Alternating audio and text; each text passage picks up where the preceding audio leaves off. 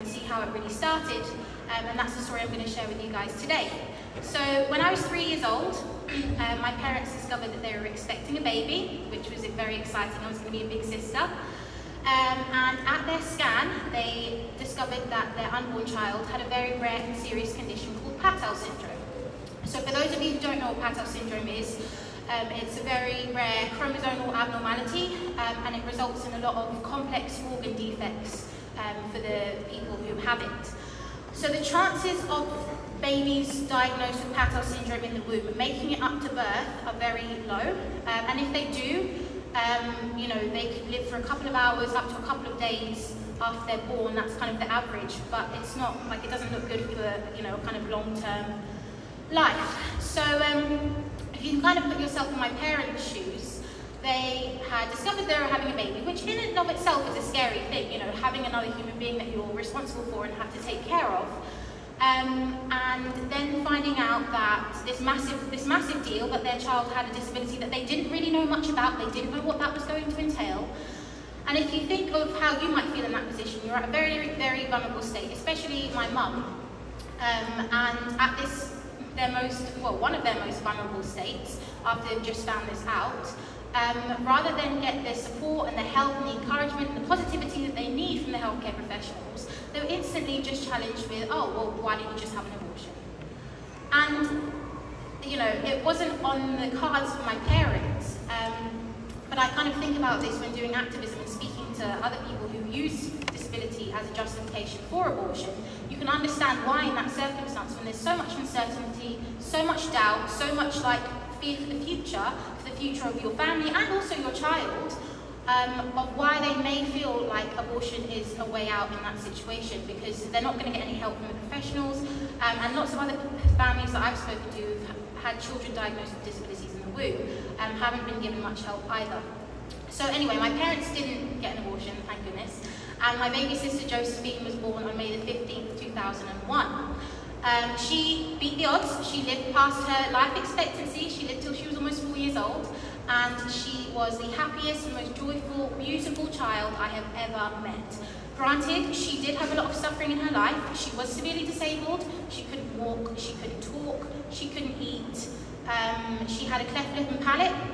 She had six fingers and six toes, which was always really funny when we took her into the shoe shop to get her shoes fit because she had to get custom size ones. The, uh, the shoe people were like, well. but um, she was very beautiful in every single way.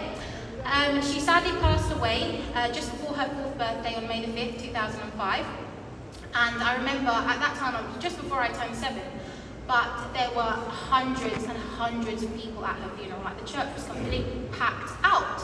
And I remember saying to my parents, like, who are all these people? And they said, we don't know, but what we do know is that every single person that's here today has been touched and inspired by Josephine at some point in their lives. And that's really true of people with disabilities. You know, um, oftentimes the pro-abortion lobby will have you believe that humans' value is based on what they can give to the world, um, and um, that's you know what determines their worth is who fits into their little box of what normal is. Um, but it's really with people who have disabilities where you can see um, the amazing joy that they not only bring to others and the hope and the encouragement that they bring to others, but also the way that they can show you how to live, even throughout suffering, and still be joyful. And so I think when, when I grew up, I kind of got into the, when I got into abortion debates, well, discussions with my peers during my teen years, I was horrified at how many people use disability as a justification for all abortion. And my first encounter with this was, I think I was 13, I was at my Irish dancing classes, and the girls started talking about abortion. I didn't really know what it was. They kind of briefly explained it, and then one of the girls was like, yeah, well, if I ever get pregnant, if my baby has any kind of disability, that would be it. And I was horrified. I was like, hang on a minute, wait, why? Because I always just thought, you know, that, that people with disabilities were just as valuable, they were just as worthy. Um, and it really shocked me. And I said, well, my sister had a disability. What? So you know, and she goes, yeah, well, I think her parents are really selfish for having her. And I was kind of shocked as well, and I said, so you think that she's just better off dead? She would have been better off dead? And she said, yes. And so from that moment on, I started to think about, you know, why people think that it's okay to justify abortion in the case of disability and the reasons behind it.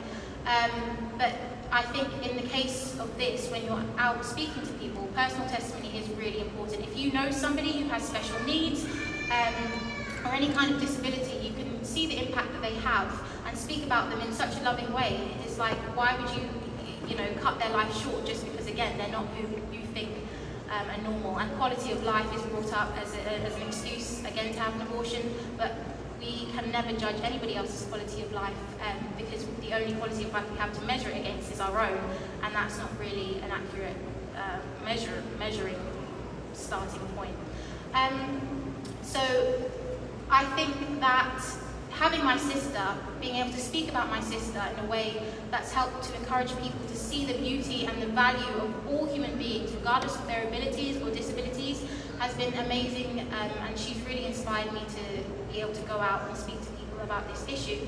Um, and so what I would say is if anybody does talk to you about disabilities, you can use her as a testimony um, for yourselves, um, talk about her even though you didn't know her, but you know her now. um, or anybody else in your life who um, may have disabilities that you show them that they are still equal, worthy of life, worthy of love, and they are equally valuable and not less valuable than us because of what they can and can't do. So I think that's everything. Anyway, well done for coming, despite the train strikes.